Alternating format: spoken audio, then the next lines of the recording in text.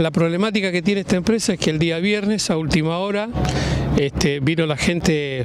dicen alguien de los de la familia Simone, donde le notificó en forma verbal a los trabajadores de que bueno, quedaban todos despedidos, que si bien se le iba a abonar todos los jornales que corresponderían y las indemnizaciones correspondientes, este, pero que bueno, que por una problemática de la marca, porque este Ford es una fábrica de afuera, en este caso brasileña, no se fabrica acá, lo que pasa que esto se adosó a que Focus eh, era el último auto que se fabricaba el otro día acá en la Argentina. Así que con lo cual, bueno, queremos nosotros eh, tratar de hablar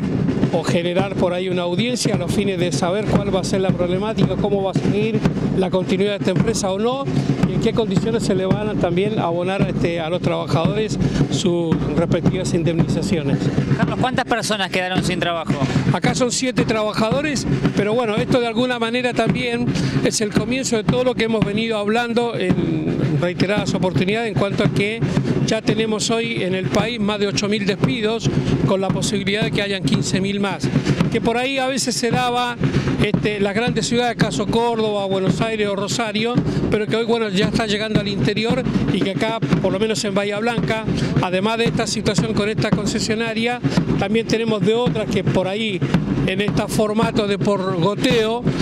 también nos enteramos de que a, lo, que era la concesionaria de Fiat y Beco le sacaron también la concesionaria por baja de venta y bueno, seguramente ahí también van a empezar este una ola de despido, con lo cual... Digamos que no se venden camiones, ¿sería el argumento? Teóricamente el argumento es que no hay un mercado, este, FIA y Beco sigue de, orden nacional,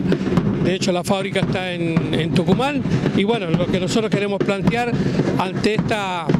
problemática que se va a ir generando de, mayor de, menor a mayor, este, que bueno, los trabajadores por lo menos tengan que tener